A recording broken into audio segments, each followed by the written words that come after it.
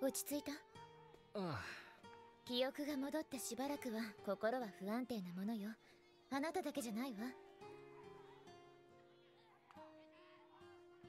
俺は弱いな。お前の強さが改めて分かった。そんなことないわ。それで何か変わった？気持ちよ。